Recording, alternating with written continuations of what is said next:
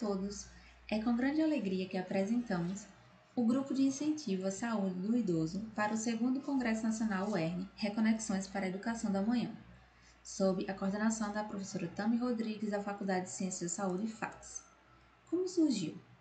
O GISE surgiu de um projeto de intervenção na comunidade pela disciplina de Vivência em Comunidade 1, no bairro do Alto São Manuel, em Mossoró em que foram desenvolvidas atividades com a população idosa, como rodas de conversa e atividades que valorizavam o bem-estar social e a integralidade física e mental.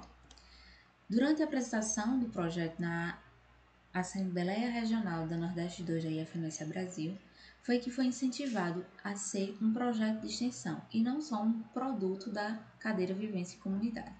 Desse modo, em 2019, o GISE nasce como projeto de extensão. Na nossa primeira edição, as atividades que visavam a qualidade de vida, integralidade física e mental continuaram e foram muito bem recebidas pela população idosa.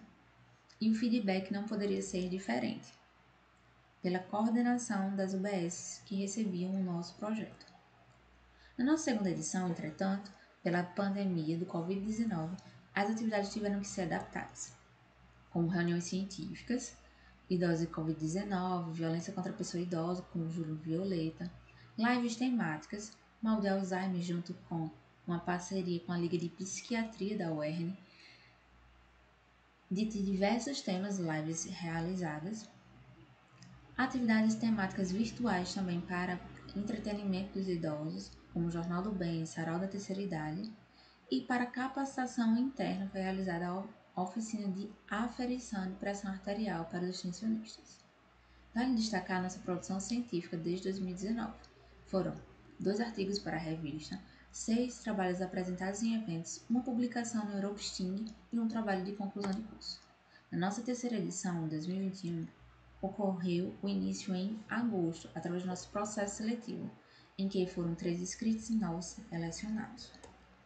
As nossas perspectivas é dar continuidade ao amplo trabalho de assistência psicofísica e mental dos nossos idosos, além de novas parcerias para o Instituto, como o Instituto Almatino Câmara e casas de apoio ao idoso.